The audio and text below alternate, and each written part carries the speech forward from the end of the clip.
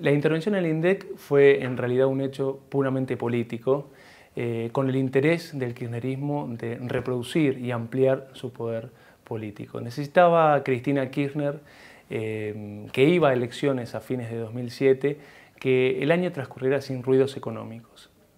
Recordemos que durante 2006 eh, el kirchnerismo empezó a cerrar acuerdos de precios con los supermercados y con otros agentes económicos porque veían venir un rebrote de la inflación. Eh, finalmente, esto no terminó de, solucionar el problema de expectativas que había sobre la inflación y el gobierno debió intervenir, o por lo menos eligió intervenir el INDEC, eh, lo que terminó en un escándalo público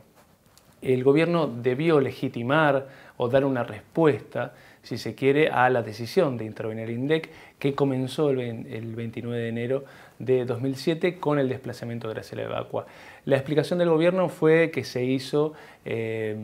para eh, que los bonistas que tenían eh, sus bonos ajustados al ser, esto es a la inflación, no ganaran lo que tenían que ganar. O sea, que la, legitimación de la, decisión de intervenir al INDEC tuvo que ver, eh, según el gobierno, con eh, un quasi default, que fue eh, que los bonistas ganaran menos dinero. Sin embargo, la decisión en definitiva fue política y tuvo que ver en rigor con contener la inflación, con bajar las expectativas, aunque terminó siendo exactamente lo contrario, con inflar el crecimiento del Producto Bruto Interno y mostrar que el país había crecido a tasas récord y con esconder a los pobres. Y la intervención del INDEC en definitiva terminó siendo la usina del relato kirchnerista.